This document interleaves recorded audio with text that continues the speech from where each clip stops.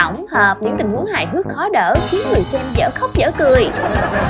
Lâu quá, anh trai ngồi ghế nghỉ chân thì bất ngờ. Mới giữa có một xíu, ghế gãy ổng bật ngửa ra sau té chỏng gọng. Hú hồn, cái nết còn nguyên. Muốn đổi tám chục cái quần luôn hà. Chuyện là đêm khuya hai hát công tử đi thuê phòng. Ừ. à này đẹp nè để tao vô bút cho. Và cái cớ Trời ơi.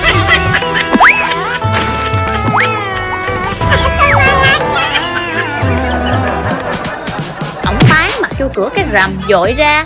Ủa đây có cái cửa hả ta? Thằng bạn ôm bụng cười bò. Mắc gì cửa chính không đi đi cửa tàn hình với ở trển xuống gì ba. Mé một xíu rồi còn cái nịch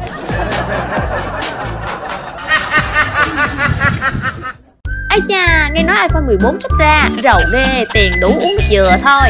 Bảo quăng cái dừa tưng lên á thì.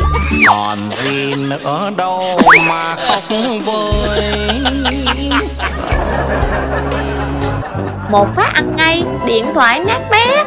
Tôi thấy là tôi nghi nghi rồi. Này ý trời nè chứ tôi không có muốn à nghe Cảm ơn mọi người đã quan tâm theo dõi và đừng quên bấm nút đăng ký kênh Tin 3 Phút Hài để tiếp tục theo dõi những tình huống giải trí hài hước trong cuộc sống nhé. Xin chào!